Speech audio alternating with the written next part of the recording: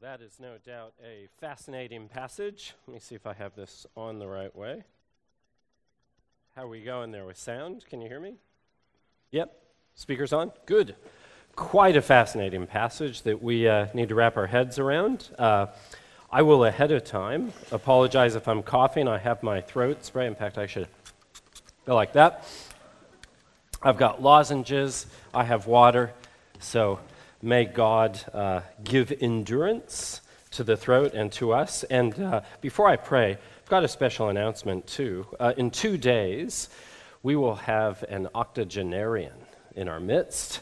And Max Eggins' 80th birthday is on Tuesday, so uh, make sure you wish him a happy one afterwards. And uh, we've organized a little cake just uh, as a praise to the Lord for uh, blessings to a man who loves his church and prays for everyone and encourages you.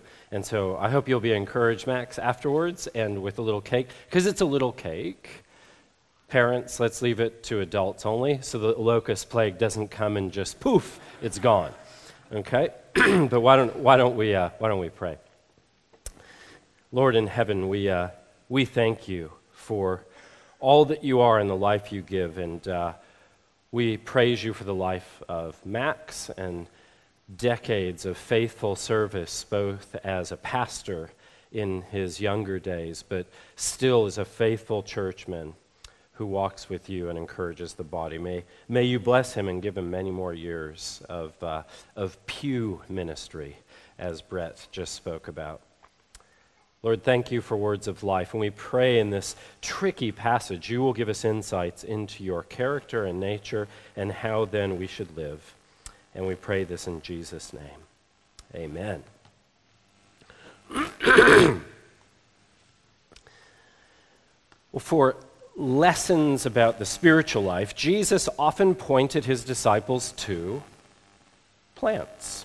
Uh, Consider the mustard seed and its growth potential, that fig tree with no fruit, uh, the lilies of the field in their splendor. So I'd like to ask you to consider a plant, the breathtaking sunflower. But my question is why do all sunflowers face the same direction? Well, here's a 10 second video clip from a university that's going to answer that with a very American accent. Why do sunflowers follow the sun? More sunlight equals better growth, and the plants know it. New research shows this sun tracking is a circadian rhythm. The plants turn overnight to face east because their internal clocks anticipate sunrise. See, so sunflowers face the sun to grow and mature, daily turning to the sun's light and fullness. Christians face the Son, S O N, to grow and mature to deeply know Jesus. In the knowledge of God's Son, grow into maturity with a stature measured by Christ's fullness. Keep your eyes on Jesus. But instead of maturing in Christlikeness, some stagnate by remaining largely ignorant about the depths of the riches of Christ. Now, now usually this is due to laziness and sin, uh, but sometimes it's due to circumstances that eclipse or obstruct one's view of the Son, limiting the knowledge of the fullness of Christ and his kingdom, or, and limiting our understanding of the unity and the gifting of his spirit indwelling his people. And in our passage today, we meet people who have an eclipse or obstructed view of Jesus. Some are fully ignorant of him, and others are ill informed about certain things, incomplete. So we might, in summary, call them deficient dudes.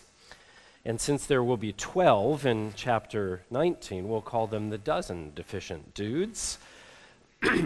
Now, in those situations, sunflowers need repotting, right? So they have direct access to sunlight.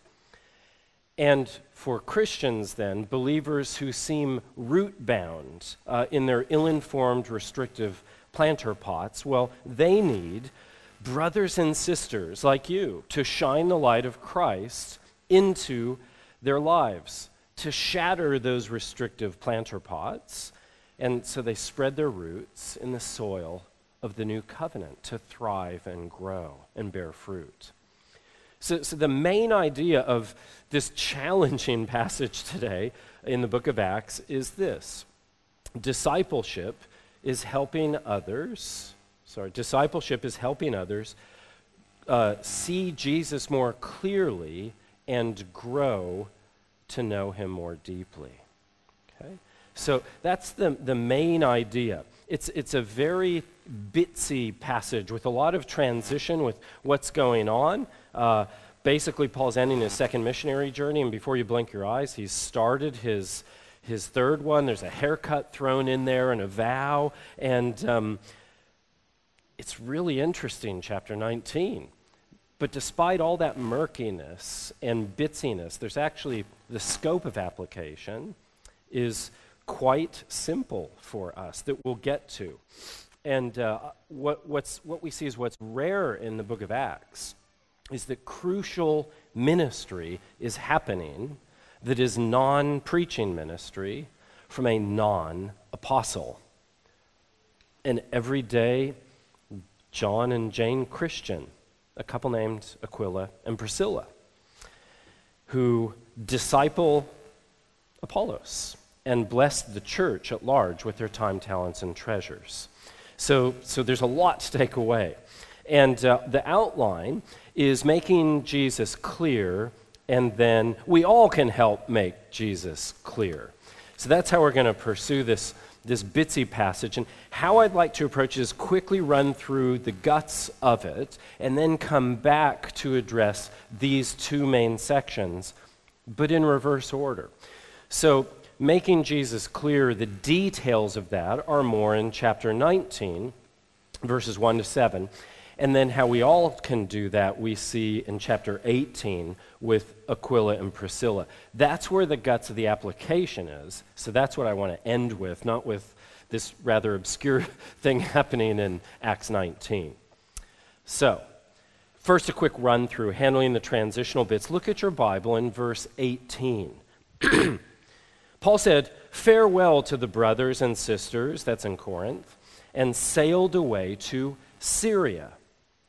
Now, if you haven't been with us, Paul's wrapping up his second missionary journey, heading back from the city of Corinth, where he just had 18 months of refreshing, persecution free ministry, and he's sailing to Antioch in Syria. Now, remember, this is his sending church from Antioch, so he wants to report back to them about the amazing things that God has been doing in expanding the kingdom of Christ. And verse 18 then adds, he was accompanied by Aquila and Priscilla. They're the tent makers we saw last time at the start of the chapter who worked alongside Paul, not just making tents, but making disciples. We'll return to their story towards the end. Verse 18 continues Because of a vow Paul had taken, he shaved his head at Cenchrea. Now, that's the east port of the city of Corinth. So, just to, uh, so he's heading off after his 18 months in Corinth. And a few things are worth noting here that he, he because of a vow, he, he shaved his head. First, this is most likely a Nazarite vow described in the Old Testament in Numbers chapter 6. That's the vow Samson made.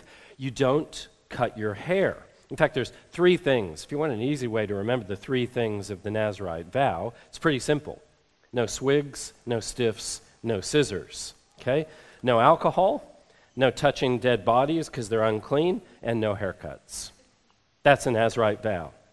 Now, at the end of the Nazarite vow, you would take the hair that you've cut off and you actually offered it up to the Lord in an offering. Now, if you're a man like me, um, every morning you look down in the shower and see, Lord, my offering to you today, right? But that's what was done as this, this this vow you would take, and the only place you could offer up anything was in the temple in Jerusalem. And this is probably why Paul goes out of his way to Antioch via Jerusalem to offer up his hair to the Lord from this vow. And the final thing we want to note about this vow is it's voluntary. It's an act of dedication to the Lord. Uh, Jesus is the Lamb of God who died for the sins of the world. Paul would not, now that Christ has died, Paul would not bring an animal for a sin sacrifice because Jesus has paid it all. But this is a voluntary offering of, of thanksgiving and of dedication.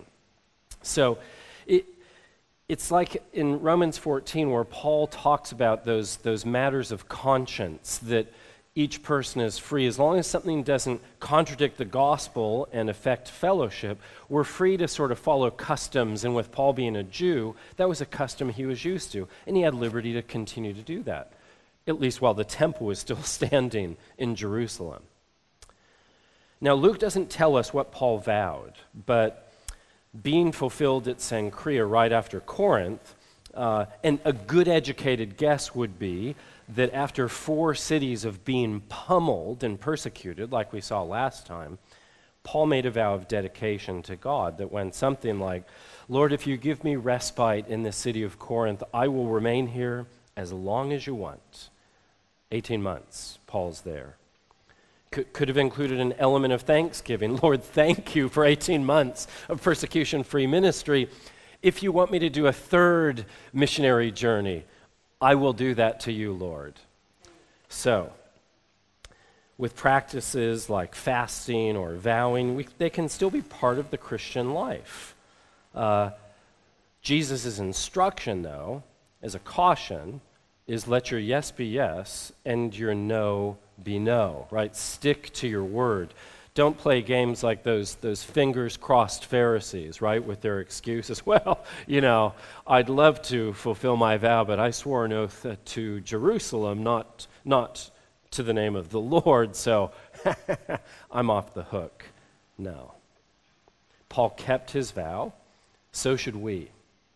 Everything from little daily promises to marriage vows from doing the chores you said you'd do to serving Jesus like you promised to. Well, pressing on. Look back in your Bibles at verses 19 to 21. When they reached Ephesus, Paul left them, Priscilla and Aquila, there, but he went into the synagogue. He debated the Jews, and they asked him to stay for longer, but he declined. And he said, Farewell, I'll come back again if God, if God wills. And he left Ephesus fascinating because in, in chapter 16, he tried to go to Ephesus but was prevented to do so and went to Europe. And now they're saying, stay. And he says, no, I've got to move on. Uh, he's, he's keen to fulfill his vow to the Lord. And uh, he leaves Aquila and Priscilla behind in Ephesus and he heads home. Verse 22. On landing at Caesarea, the port city, he went up to Jerusalem, greeted the church, then went to Antioch. He's on furlough. That's how we'd say it today. A missionary comes home, gives reports, and encourages the church. And so ends Paul's second missionary journey. Blink your eyes. Paul's on his third missionary journey. Look at verse 23. After spending some time there, he set out to travel through one place after another in the region of Galatia and Phrygia, strengthening all the disciples. So, this is modern day Turkey, and Paul is retracing his steps from his m- first mission trip, building up these young churches as uh, most were being persecuted and needed encouragement and answers to new theological questions that came their way. We're going to return to verses 24 to 28 and the ministry of Aquila, Priscilla, and Apollos.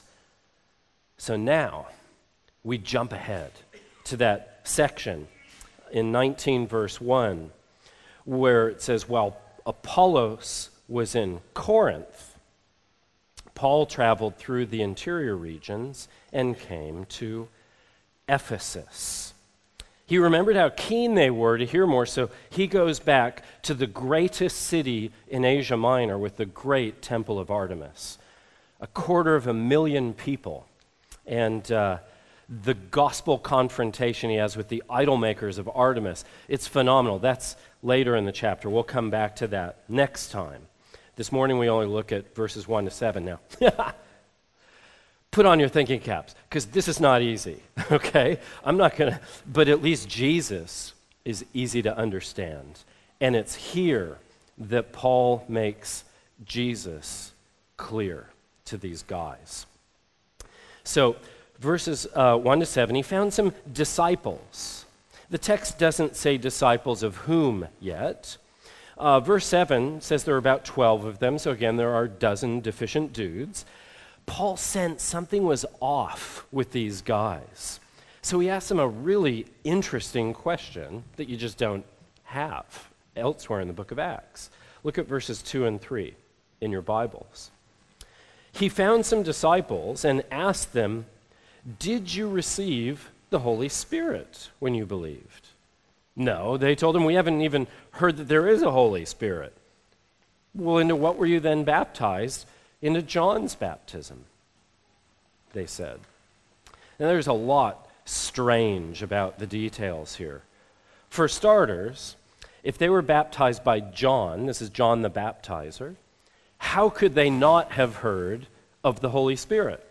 Because it was John who said, I baptize you with water, but the one who comes after me is greater than me. I'm not even worthy to tie his shoes. He will baptize you in the Holy Spirit. So it's mystifying how these guys could be John's disciples and, and not heard of the Holy Spirit.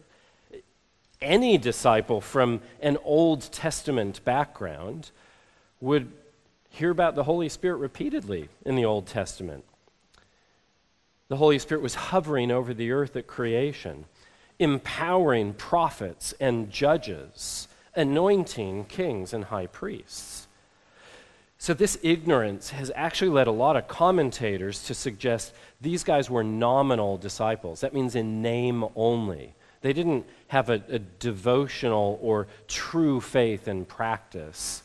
In other words, they were not genuine believers never pursuing the truth that John himself taught. You see, John pointed to Jesus. John said, He must, he must increase, I must decrease. And John identified Jesus. Behold, the Lamb of God who takes away the sins of the world. It's interesting, Clement, a, second century church father, spoke that there were still a few disciples of John left in his day in the second century. So, one option is that these deficient, deficient dozen dudes are part of a cult who followed John as the Messiah. Even though John clearly said, I am not him, you must follow Jesus. If this is the case, then these disciples are not born again. They're not believers in any sense of the word. So here, Paul brings the good news, and they actually believe and trust in Christ. They're born again, become Christians, and receive the Spirit. The other option is that these guys, like, like other genuinely saved Old Testament disciples, who trusted in the provision of God's forgiveness and look forward to the promised Messiah to be the one to pay it all, well, they knew John's specific promise was that Messiah would come in his lifetime. But then the 12, after being dis- baptized by John, actually left Israel before John publicly identified Jesus. Behold the Lamb, there he is. Acts 19, verses 4 and 5, give the impression they'd never heard of Jesus by name. They're important, so I'll put them up to see. Paul said, John baptized with the baptism of repentance, telling the people they should believe in the one who had come after him. Get over John. The one after him is Jesus. So when they heard this, they were baptized into the name of Jesus. How could they have never heard the name of Jesus? Well, let's start by remembering you know, look, wh- what time are we? There's no Google, there's no internet, there's no printing press, there's no airplanes, there's no telephones. Like, word travels much slower back then. But, but beyond that, maybe they heard, if they heard something, that John got his head cut off and served on a platter to Herod. And his disciples of John, whoa, we're not going back to Israel because we want to keep our heads on our shoulders. Thank you very much. Or, or maybe, given the common but misguided view of Messiah, that he would be a military leader, these 12 might have assumed hey, you know, when Messiah comes, we'll know because Rome will be overthrown and Rome is still growing, so he hasn't come yet. Or it just could be like this is a real life scenario from the, the mid 1700s when pioneers from the British colonies on the east coast of this place called the Americas went west to find and settle new territory. And uh, when they got to the west with broken down wagons, the death of horses, and fear of Native American Indians, well, the settlers stayed up in the Catskill Mountains for 20 years. These pioneer settlers, they saw no other Europeans until eventually a new group of settlers came through. And remember, this is the mid now to late 1700s. And the mountaineers then asked these new settlers, What's going on back in the colonies? And these new pioneers said, Colonies? That's a bit of weird language. So they asked back, What do you think of the new American Republic? And did you vote for George Washington? Vote? President. Uh, these guys are subjects of the British King George in their mind. And um, they hadn't even heard of George Washington or the American Revolution. That's a real story in the 1700s. And it was about 20 years since Jesus began his public ministry that Paul met these guys in Ephesus. And whatever the reason, we don't know, these dozen Ephesians had not heard about Jesus or the Holy Spirit. John is the last prophet of the Old Testament. Jesus made this clear.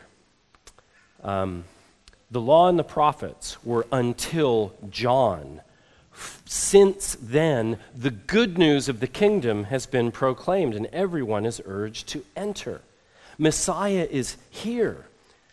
So Paul had to make Jesus clear to these Messiah expecting Jews in Ephesus. See, Messiah first is not a soldier delivering from Rome, he's a savior delivering from sin, our sin. And uh, he is the substance that fulfills all of those old covenant shadows fulfilling the promised new covenant. And, and, unlike the old covenant, where it was judges and kings and priests and prophets upon whom the Holy Spirit came for ministry and gifting, well, a key promise of the new covenant is every believer, who, that is, everyone who repents and trusts in Jesus, is indwelt by the Holy Spirit, united to his body, the church, and gifted by the Spirit to serve one another. See, God's Spirit no longer dwells in a building in Jerusalem, but in every Christian and collectively in the living temple, the church. So 1 Corinthians is really clear that every Christian is baptized in the Holy Spirit we were all baptized in one spirit, into one body, whether Jews or Greeks, slaves or free. The deficiency of John's baptism is that it was a water only baptism, devoid of the Spirit indwelling and empowering all believers of the new covenant and uniting us into one body, the, the body of Christ. And this is why what the norm, again, the norm is what we see in Romans chapter 8. If anyone does not have the Spirit of Christ, they do not belong to Christ. So, what exactly is going on here in Acts 19? This, this is peculiar, especially verse 6, which says, Paul laid his hands on them, the Holy Spirit came on them, and they began to speak in other tongues and, and prophesy. If Christians have the Spirit, well, that, that's the norm. Let's think through the larger context of the book of Acts so far. Three times the Holy Spirit has come upon people. Can you remember to whom and where that occurred? I'll help you out in case you're shy to answer. Uh, to Jews at Pentecost in chapter 2 in Jerusalem, to Samaritans who are half Jews in Samaria in chapter 8, and then to Gentiles, non Jews in chapter 10. So, what's fascinating here is that this should ring a bell with the, the table of contents verse in the book of Acts. Do you remember the table of contents verse? Back at the introduction of the book. You will receive power when the Holy Spirit has come upon you. You will be my witnesses in Jerusalem, Judea, and Samaria, and to the end of the earth. So the Holy Spirit is given as the good news of Jesus spreads to three people groups that cover all people groups Jews, half Jews, and non Jews. And so these attesting signs and wonders were proof that half Jews and non Jews were also part of the people of God, Jesus' kingdom. And remember, the Spirit comes to people groups. No example of the Spirit coming upon just an individual occurs in the book of Acts, whether the Ethiopian eunuch, Simon Magi. Uh, so two things seem to be happening here, and then we'll get practical in the uh, Aquila and Priscilla section. First, this seems to be the only possible leftover people group, the last outpost of any people group. And that is people baptized by John, that Messiah is coming in this generation, but didn't know that Jesus had come. And this this is not repeatable. Uh, the generation of John is gone, and this transitional people group is, is past. But this was proof that they too could be the people of God. The second thing that's really important in the book of Acts is this is actually to prove that Paul is a full apostle which was questioned by some of the churches. Because remember you had to you had to be an eyewitness to jesus' resurrection to be an apostle. That was a criteria. Paul calls himself one untimely born because the resurrected christ appeared to him after right after the resurrection and ascension on the road to damascus. And so to prove apostles uh, paul's apostleship in the other three cases when the holy spirit came on jews half jews and non-jews apostles were there, usually Peter and John.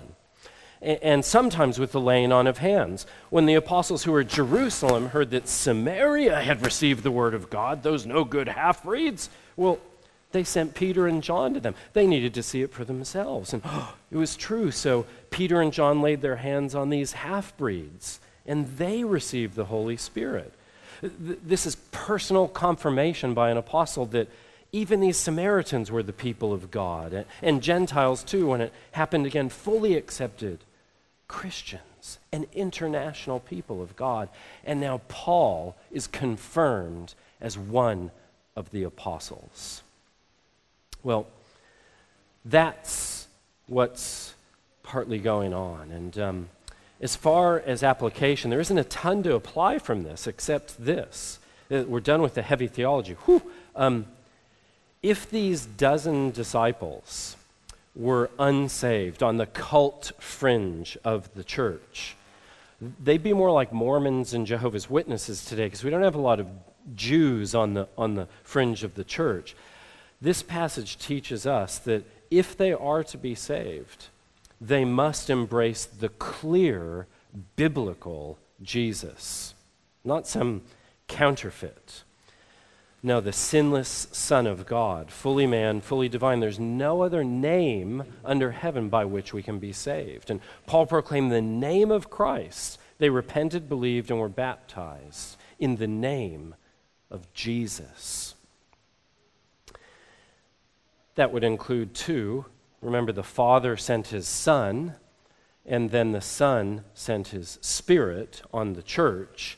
And so this would mean accepting the biblical doctrine of the Trinity one God in three persons Father, Son, and Holy Spirit, baptized in the Father, Son, and Holy Spirit.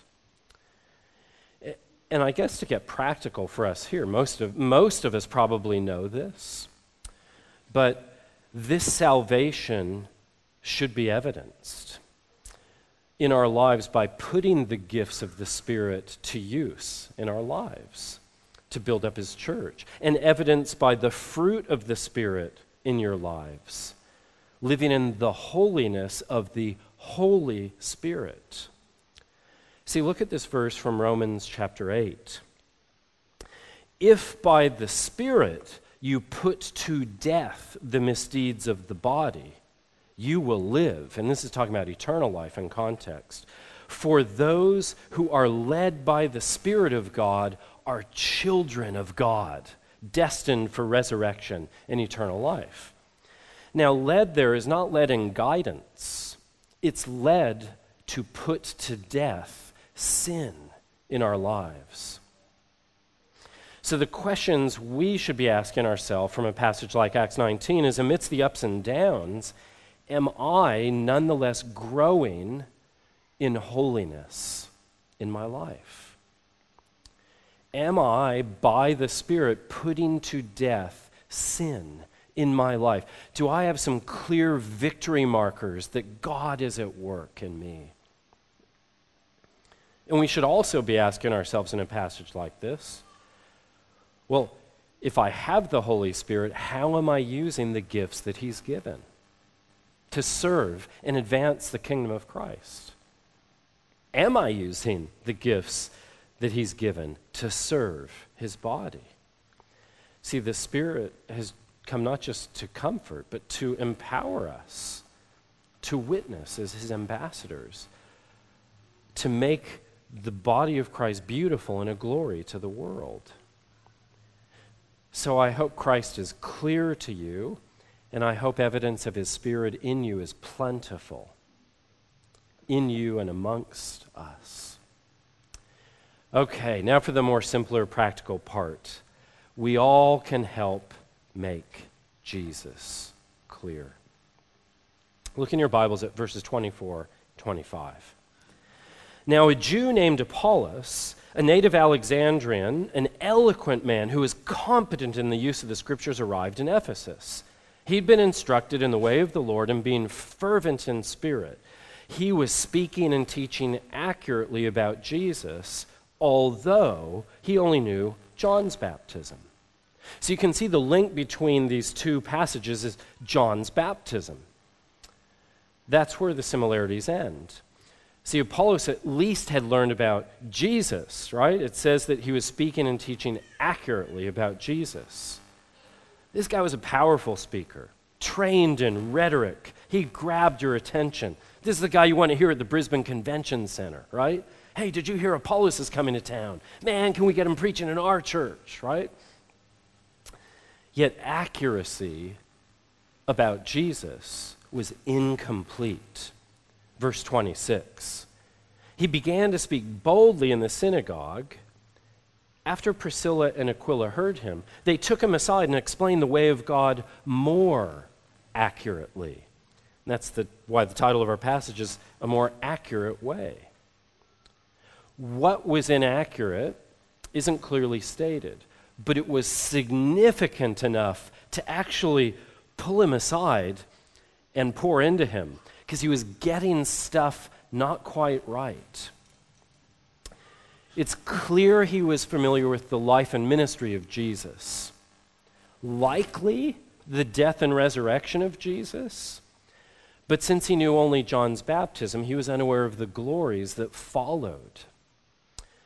See, the, the ascension of Jesus and, and what that really signifies that Jesus identified with the Son of Man in, in Daniel 7. He is the exalted King of heaven, crowned and, and ruling on high, seated at the right hand of the Father.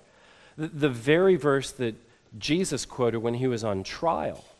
And the high priest responded, He has blasphemed. Do we need any more witnesses? Put him to death. So the prophet Isaiah wrote that Messiah, of, of Messiah, the Spirit of the Lord will rest on him. And therefore, the victorious Messiah, who not only died but is risen and ascended and crowned, well, he can then send his Spirit at Pentecost to empower the church and embolden us to witness as his ambassadors. This and much more Apollos was taught about Jesus the Messiah. So when he heads to Corinth, he's not just bold now, he's actually more on target. Verse 28. He vigorously refuted the Jews in public, demonstrating through the scriptures that Jesus is the Messiah. See, now he's got Jesus really right. He wasn't just a guy John pointed to who did a lot of cool miracles and awesome teaching and parables. He died, rose, ascended. He's the king, and he sends his spirit. So he's been equipped in the clarity of Christ to marvel at Messiah.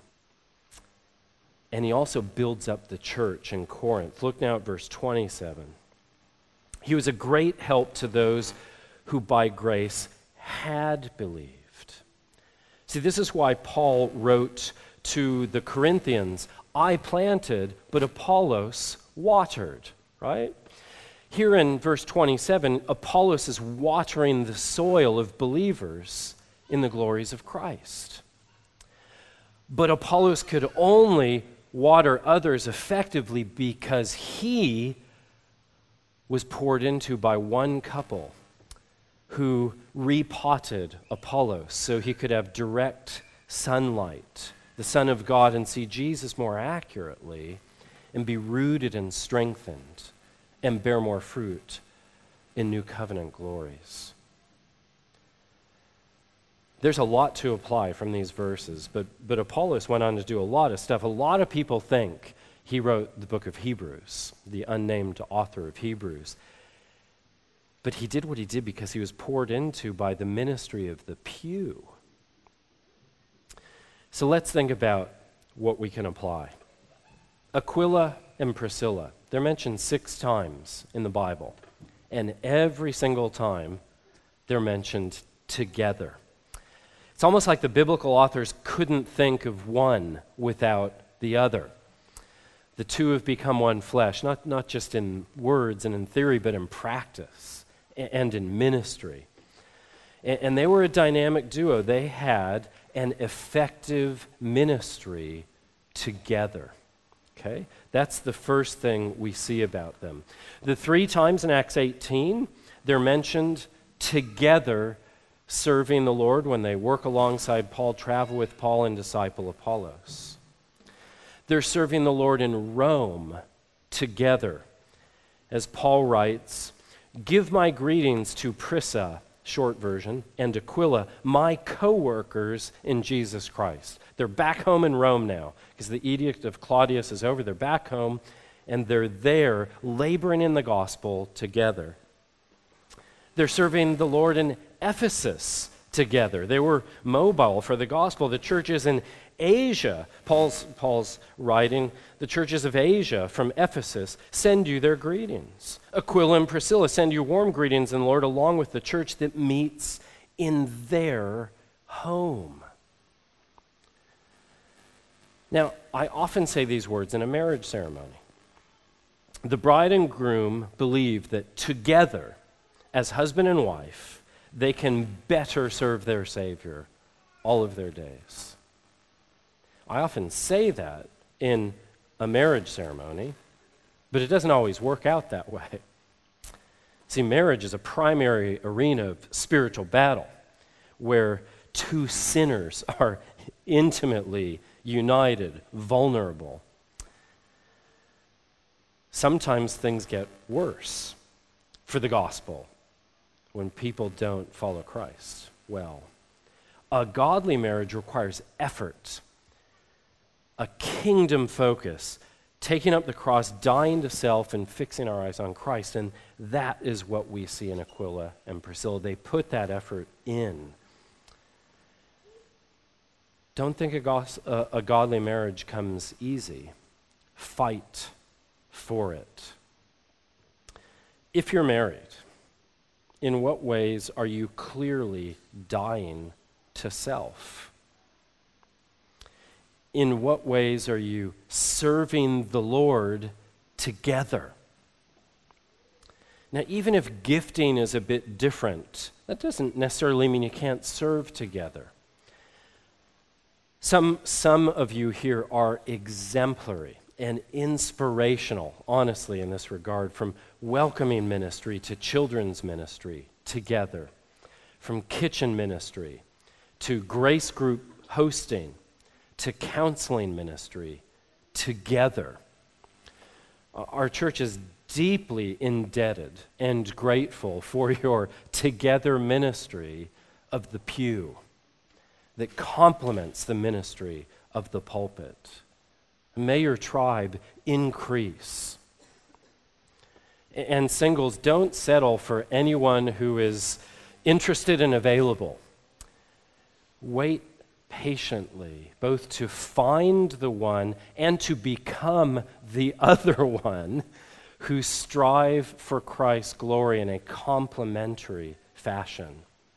So you can truly say on your wedding day, we believe that together as husband and wife, we can better serve our Savior. Amen?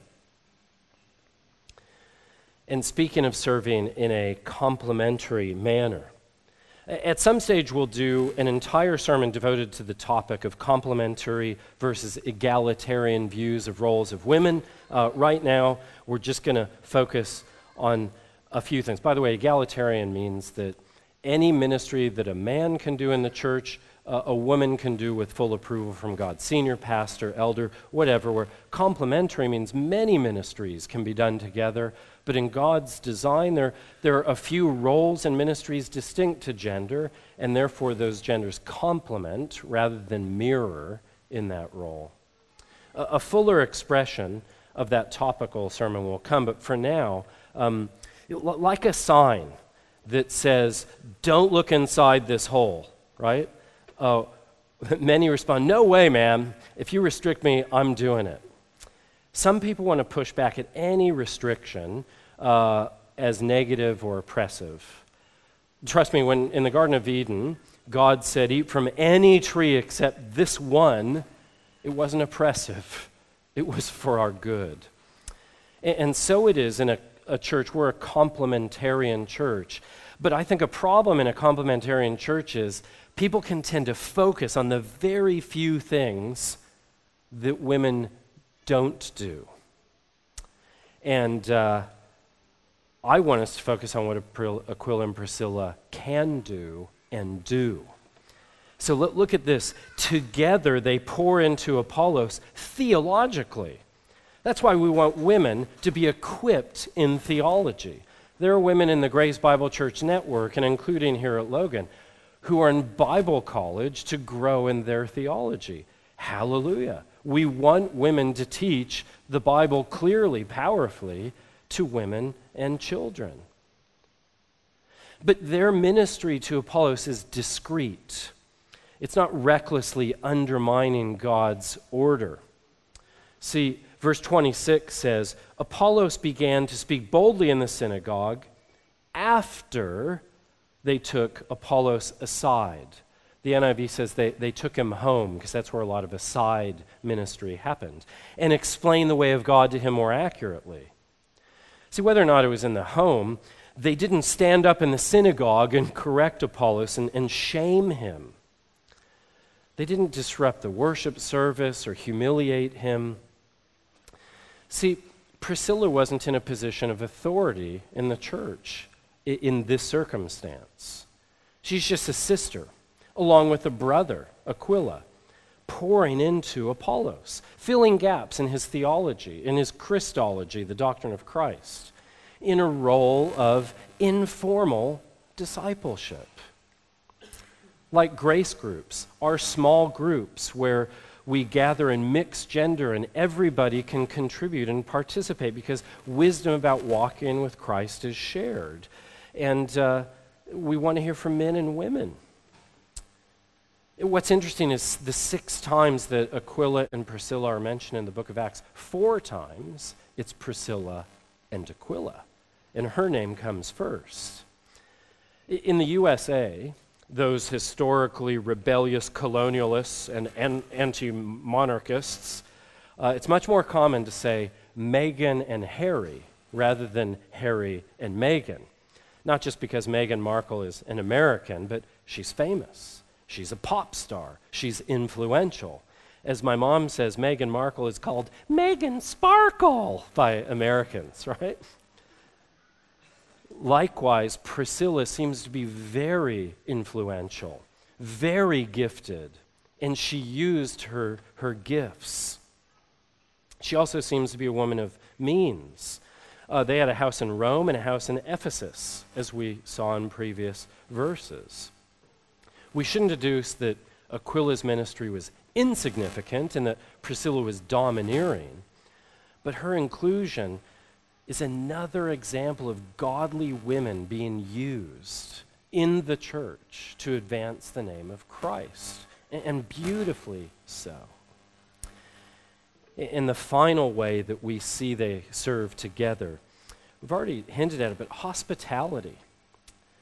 Whenever they're mentioned in Scripture, they're opening up their home. They open their home for Paul in Corinth, for Apollos in Ephesus. When they lived in Ephesus and lived in Rome, they opened their house to the church that met there.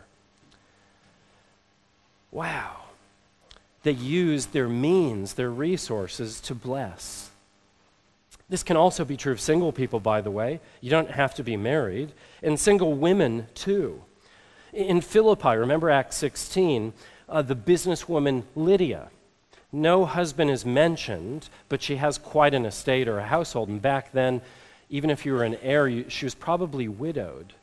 But now she's probably single. And regardless, she opens up her home for gospel hospitality, first to Paul and Silas.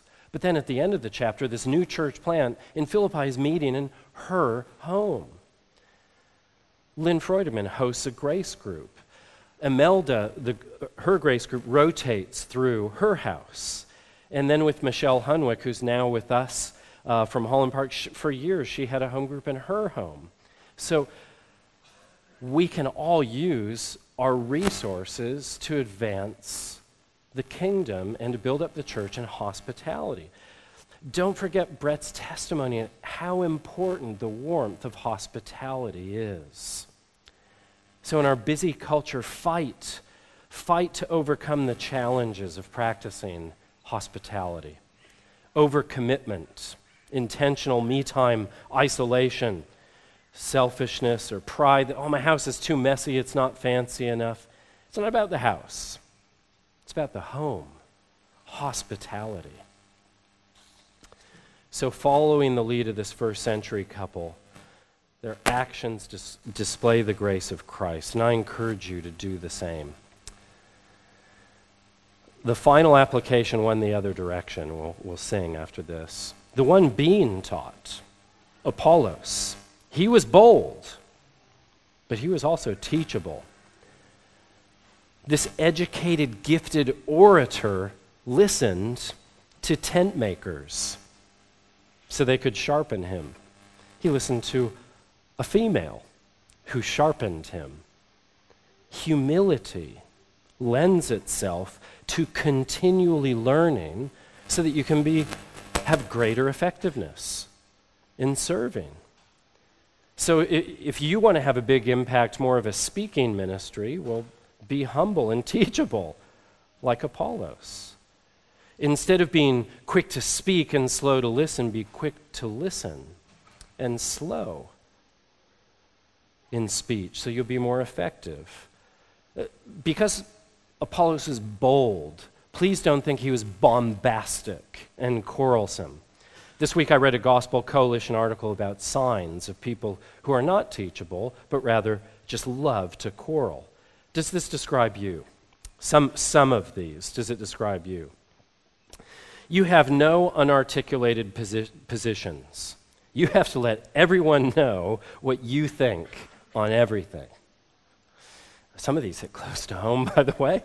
Um, your only models of faithful ministry. It's the showdown on Mount Carmel with the prophets of Baal and Jesus cleansing the temple with the whip. Well, sarcasm and whips are not the normal method of personal engagement for the gospel and scripture, they're exceptional.